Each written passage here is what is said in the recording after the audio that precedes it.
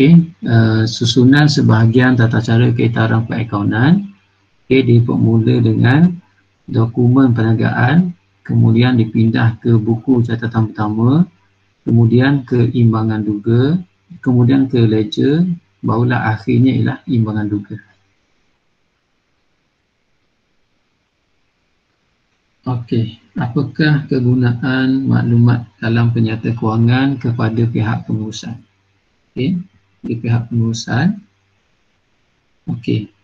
Melihat keupayaan perniagaan dalam pengurusan kredit dan juga dalam pembayar hutang. Okey, kalau ni dia uh, pihak bank. Okey, kalau dia bincang pasal okey, dia cerita pasal pengurusan kredit ni, ia maksudnya hutang okay, pengurusan hutang ni okay, uh, dia lebih kepada pihak bank okay. so pihak pengurusan bukan okay. Seterusnya B mempertimbangkan kelulusan permohonan okay. nah, ni pun bank silap okay, ni bank ni bank okay. yang ni adalah okay. pemberi uh, apa tu pihak dalam pengurusan kredit ni lebih kepada ni ya uh, pelabur okay, silap okay. okay pelabur okay. Silap yang okay. membolehkan okay, si membolehkan strategi dibuat untuk mengembangkan perniagaan atau membaiki kelemahan okay. ini adalah uh, dia punya ni eh. ini adalah pihak pengurusan okay. pengurusan okay, yang D ialah mengetahui sama ada perniagaan memperoleh untung atau rugi. Okey. Ini yang selain pada itulah. Okey. So jawapannya adalah C. Okey, jawapannya adalah C. Okey.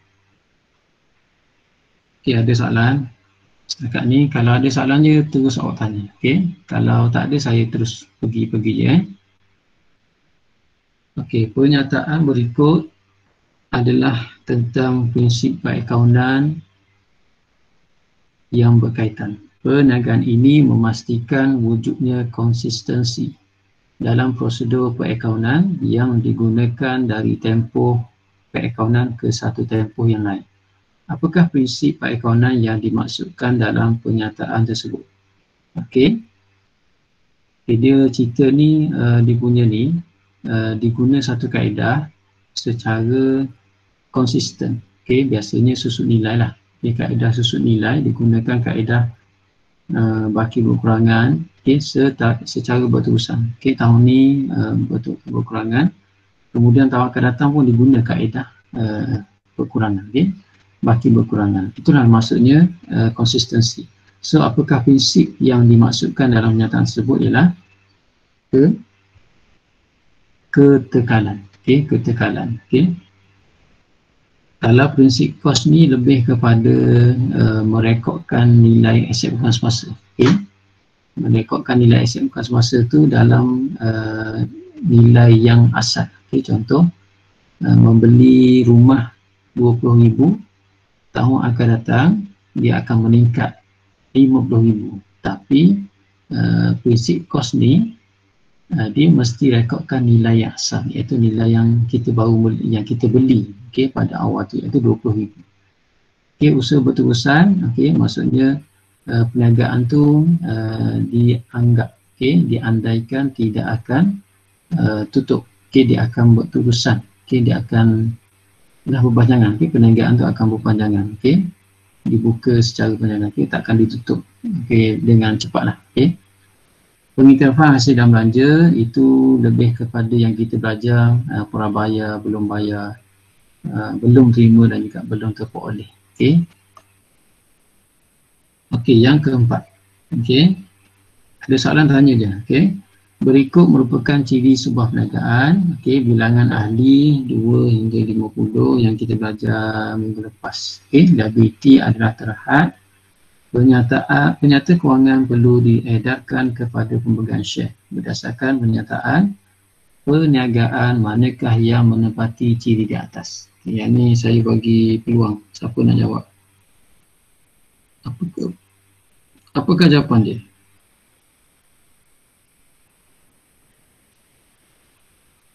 Okay, siapa nak cuba? Dia punya key dia 2 hingga 50 orang.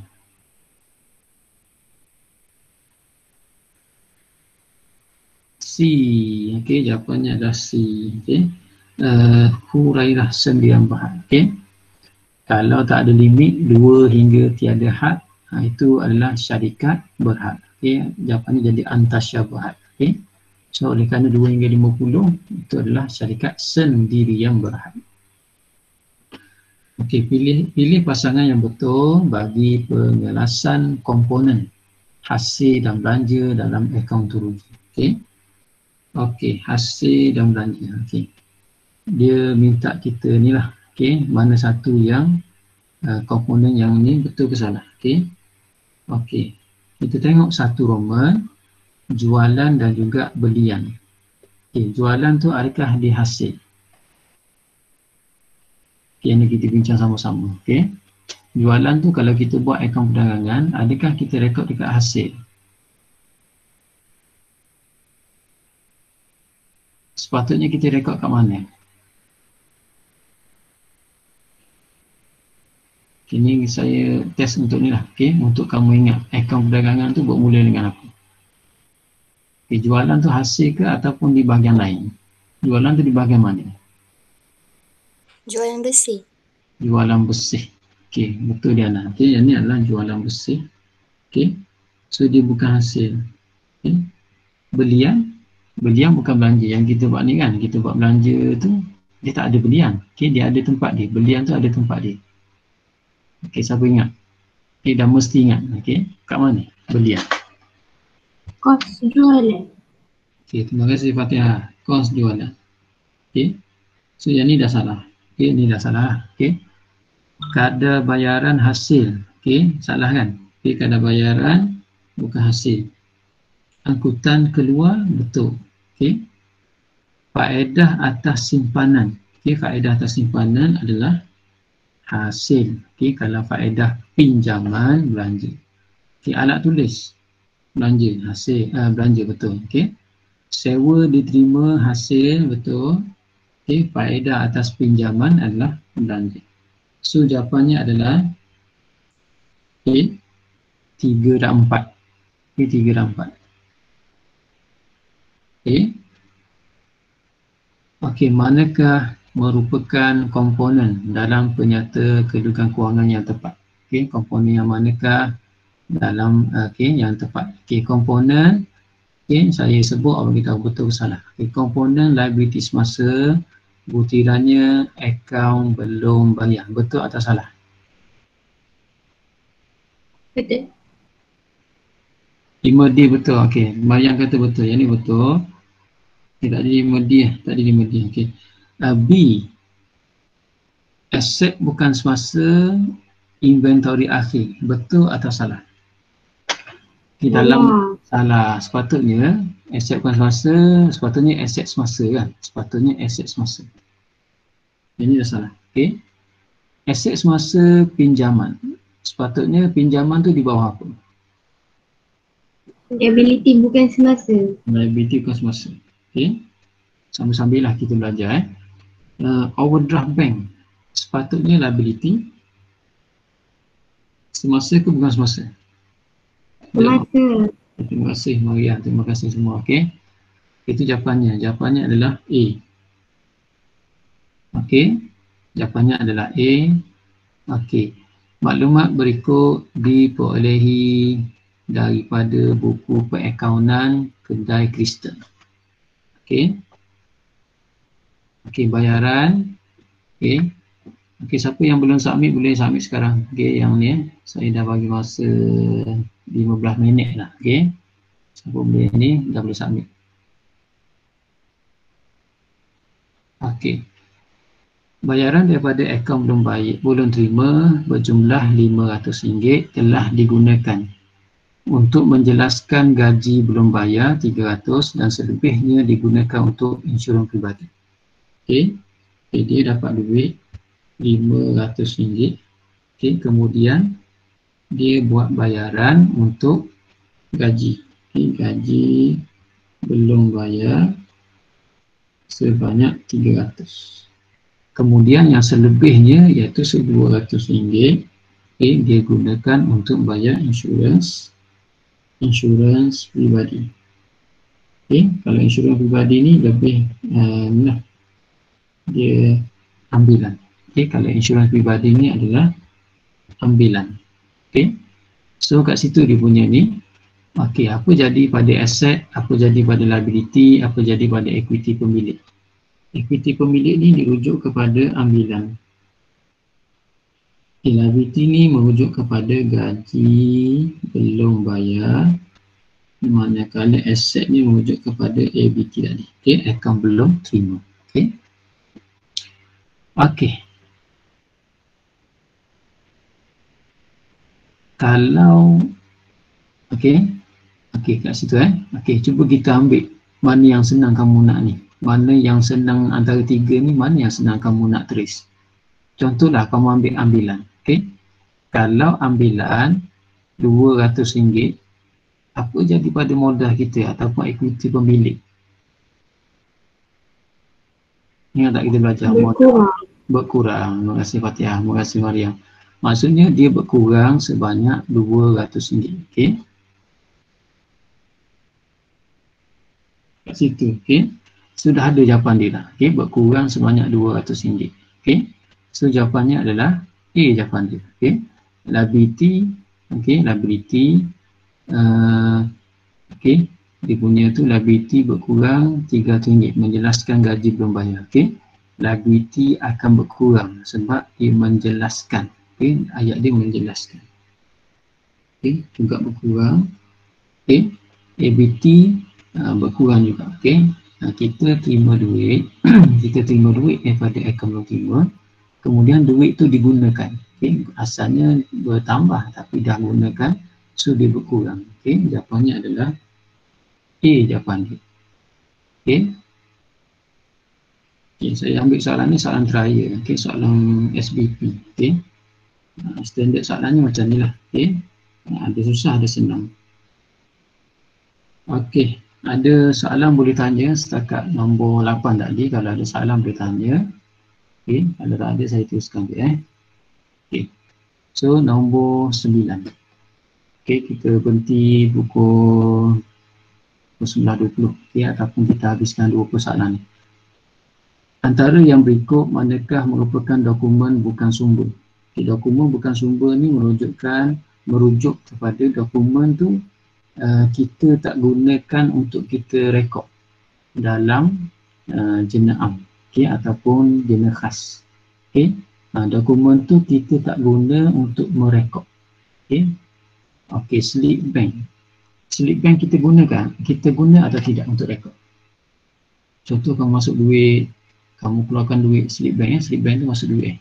Dia masuk duit, adakah dokumen ni kita guna untuk rekod? Gunakan, okay. Slip bank kita guna, okay sebut harga sebut harga ni biasanya kita ni lah kita tanya contoh kita nak beli dekat Shopee eh dekat Shopee tu dia ada satu ada satu gambar lah okay, gambar tu dia menunjukkan senarai harga itulah sebut harga okay, sebut harga adakah kita nak rekod sebagai urus niaga kalau ikut logik sebut harga je pun maksudnya kita nampak senarai harga perlu tak yang tak gunakan. Maksudnya, uh, inilah maksudnya dokumen bukan sumber. Okey, dokumen bukan sumber. Okey. Okey, sebenarnya penyata akaun. Penyata akaun, kalau kita buka akaun semasa, okay, kita akan dapat satu penyata akaun setiap bulan. Okey, dia akan tunjuklah duit masuk, duit keluar. Itulah penyata akaun. Duit masuk, duit keluar. Okey, ataupun penyata akaun ni kita tak guna, eh. kita tak gunakan untuk merekod dia sekadar rujukan. Okey, dia sekadar rujukan saja. Okey, dia bukan dokumen sumber. Okey. Okey, seterusnya ialah makluman debit. Makluman debit adalah makluman daripada pihak bank. Makluman daripada bank bahawa akaun kita telah dikurangkan. Okey, akaun kita telah ditolak. Okey. Biasanya bayar faedah, okay, bayar faedah kan bayar faedah bank bayar di charge bank okay. so ini pun okey makluman debit ni okey makluman debit ni uh, kita akan gunakan kita akan gunakan untuk semua kata apa untuk rekod okay, untuk merekod lah. Okey ni adalah dokumen sumber. Okey dokumen sumber. Okey so jawapannya adalah yang bukan sumber ialah dua dan tiga saja. Okey dua dan tiga adalah dokumen bukan sumber. Okey okey. Contoh saya bagi. Invoice. Dokumen sumber ke dokumen bukan sumber siapa-siapa lah okay, nak respon kalau invoice dokumen ni sumber ke dokumen bukan sumber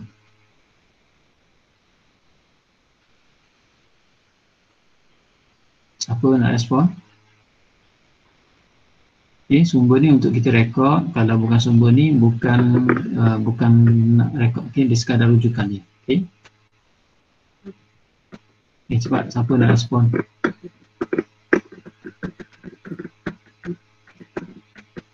Salah tak apa, cuba. Okay, dokumen sumber. Okay, terima kasih. Mariam je respon. Okay. Yang lain macam mana? Okay. Kalau voucher okay, voucher pembayaran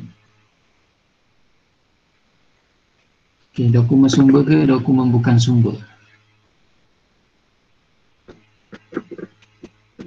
voucher pembayaran ni biasa nak nak bagi tahu nak bayar gaji nak bayar kadar bayaran nak bayar bil air, bil api dan sebagainya. Okay, voucher pembayaran adakah dokumen sumber ataupun dokumen bukan sumber? Sumber. Dokumen sumber.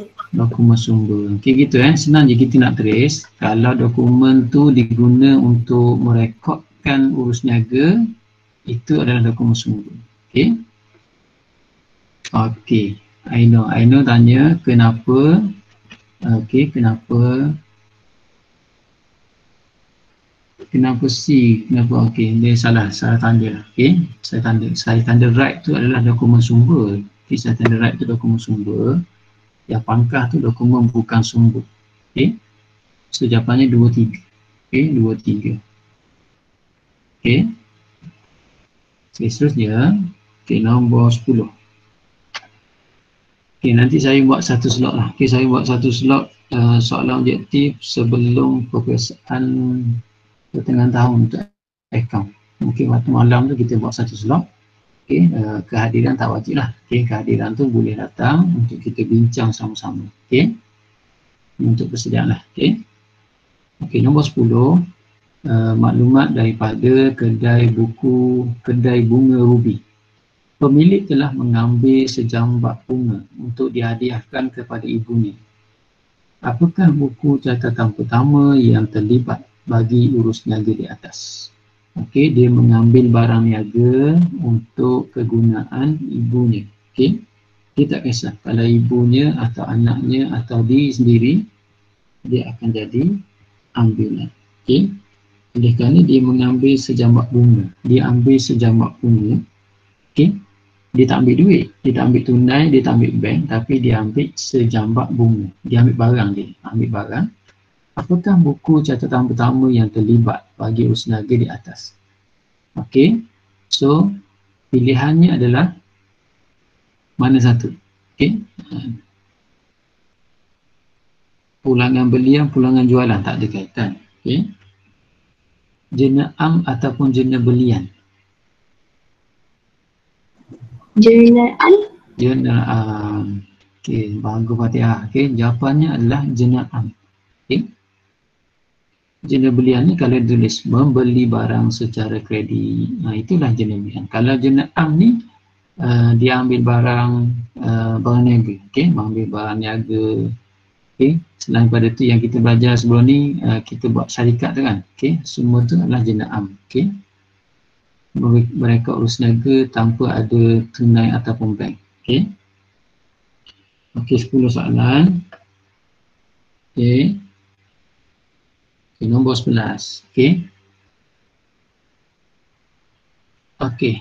Buku tunai berikut diperolehi daripada perniagaan Azim. sepanjang bulan Ogos 2020. Buku tunai diberi, okey. Okey. Tunai, okey, ada maklumat kat situ, uh, bank pun ada maklumat dia, okey. Uh, tunai sebelah kredit dan juga bank sebelah kredit. Okey. Yang ni kamu kena buat pengiraan. Okey, kamu kena buat pengiraan berapa jumlah dia, kemudian kamu kena cari baki HB dia. Okey. Okey, siapa yang dah conteng dekat uh, PDF dia tu boleh bagi tahu saya berapa tunai yang awak dapat.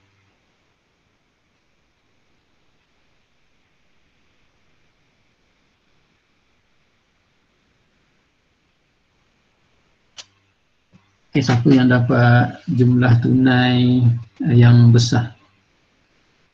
Uh, berapa dapat tunai yang bahagian debit? 1160 1160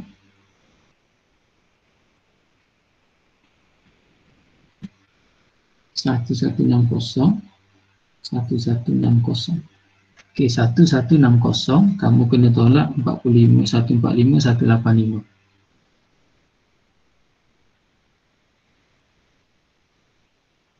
Okey, berapa dapat nilai? 930. 930. Okey, 930 ni baki HB. Okey, baki HB sebelah kredit. Okey, kalau ditanya bila uh, uh, berapa baki untuk 1 September ni, dia merujuk kat sini. Okey. Kalau ingat balik baki bawa ke bawah. Okey, baki bawa ke bawah tu 930. Okey, inilah jawapan dia. So, dia kalau tunai tu adalah debit. Okey. Uh, tunai baki 1 September tu debit. Okey, so 930, 930. Okey. Cuba kira bahagian bank. Okey, kalau bank Okey, kalau perasan dia sebelah kredit kredit lebih besar. Okey, berapa ni? 1520. Terima kasih Fatu. 1520.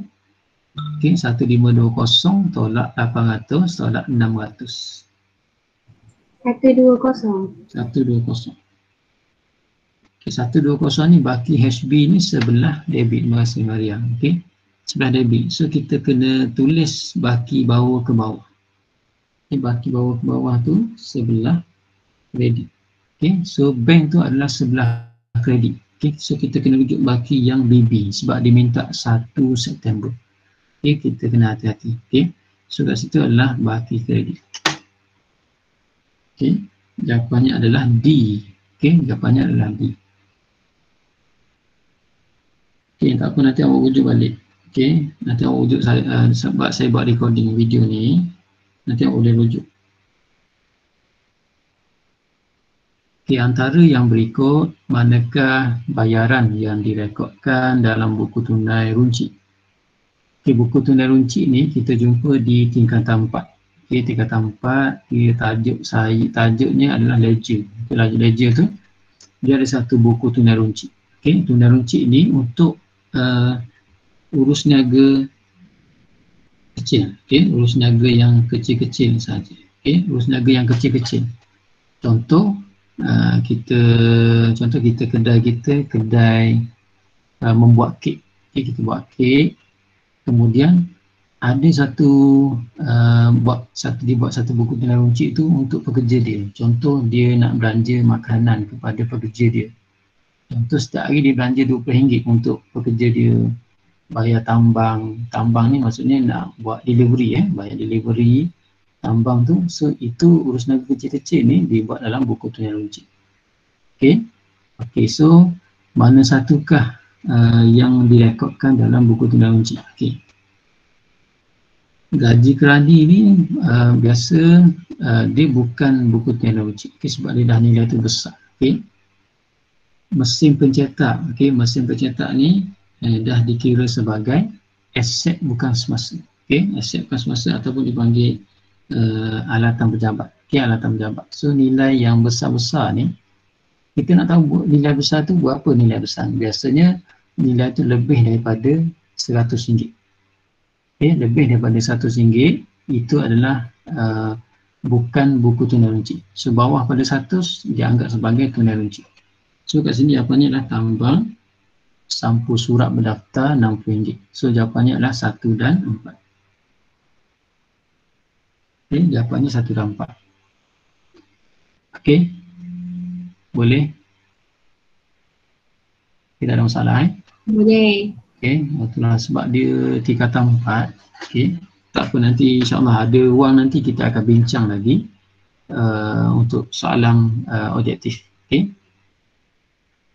manakah yang benar tentang peraturan mereka urus niaga ke dalam ledger ok yang ni kamu kena faham uh, debit credit ok kena faham sistem debit credit ok belah ni lah ok yang belah ni untuk aset untuk belanja untuk liability untuk equity okay, untuk hasil okay. okay satu debit satu kredit. So kita kena ingat uh, di manakah uh, tu contohnya eh, kalau A tu account modal didebitkan apabila dia bertambah okay, kita kena ingat account modal adalah equity pemilik Equity pemilik kalau kat sini komponennya berada dekat sebelah kredit. Maksudnya kalau sebelah kredit dia mesti bertambah. Okay, kalau sebelah kredit dia mesti bertambah. Kalau debit dia akan berkurang. Okey, betul tak? A tu. Akaun modal didebitkan apabila bertambah. Betul atau salah?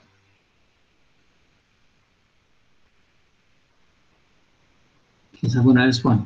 Okay, modal kalau bertambah debit ke kredit, kena ingat yang ni. Kalau awak ingat yang ni, okey tak ada masalah.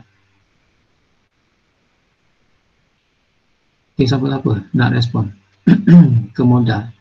Modal kalau debit bertambah ke berkurang?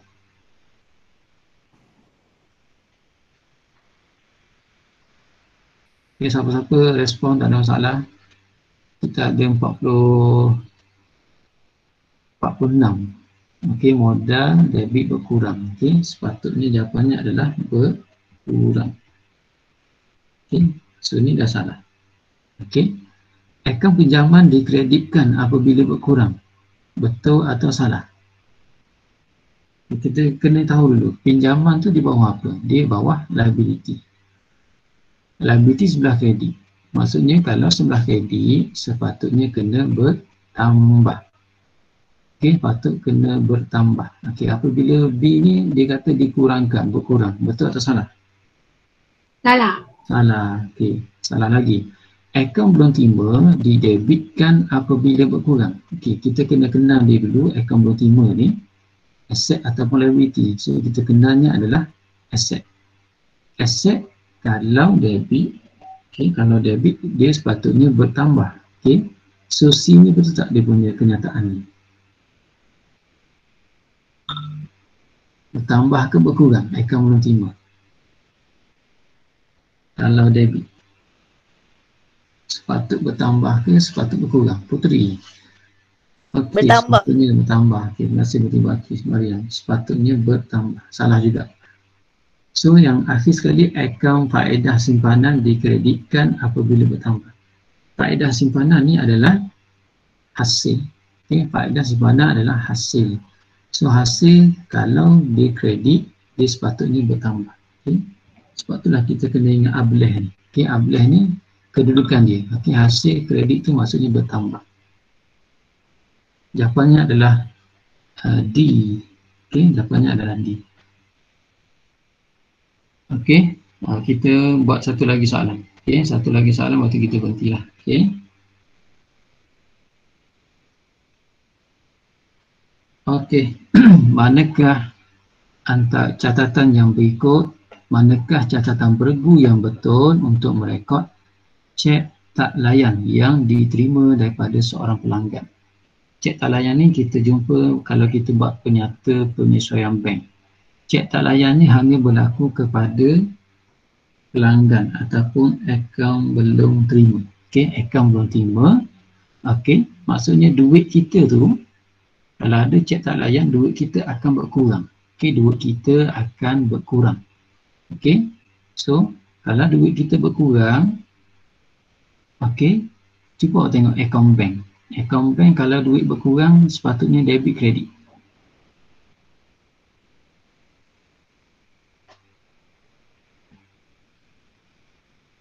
Okay, okay. saya tanya, kalau account bank berkurang, kita akan rekod sebelah debit atau kredit? Green. Kredit. Okay, kredit ya. Kredit. So maksudnya jawapannya antara B ataupun uh, D. Okay. B ataupun D. Okay sekarang ni akaun belum terima ataupun akaun belum bayar? Terima. Belum terima. Okay.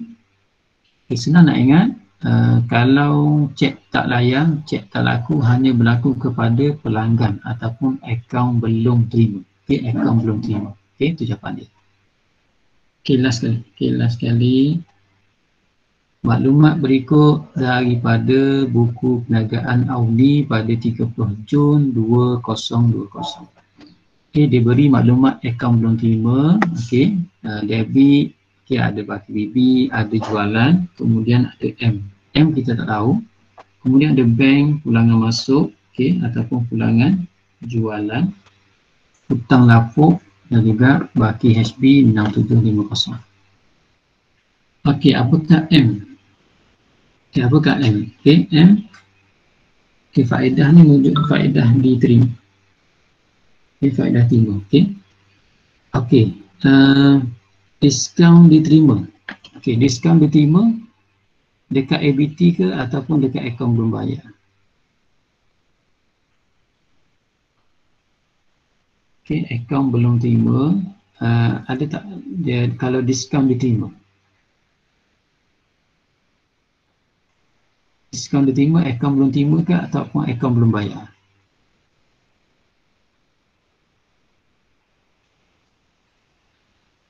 Okay.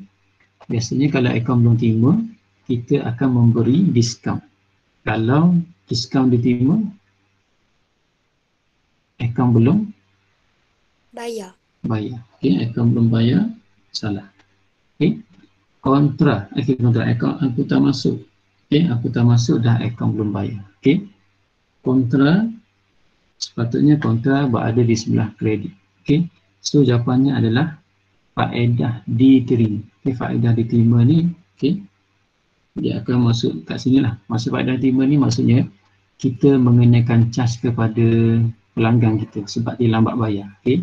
So kat situ uh, ni lah okay, kita akan rekod dekat akaun berterima tu debit kita rekod sebagai hasil kredit. Okay. Okay setakat itu saja penerangan untuk ni uh, untuk kertas satu. Okay. Uh, nanti kalau kita ada ruang insyaAllah kita akan bincang lagi soalan uh, soalan, soalan.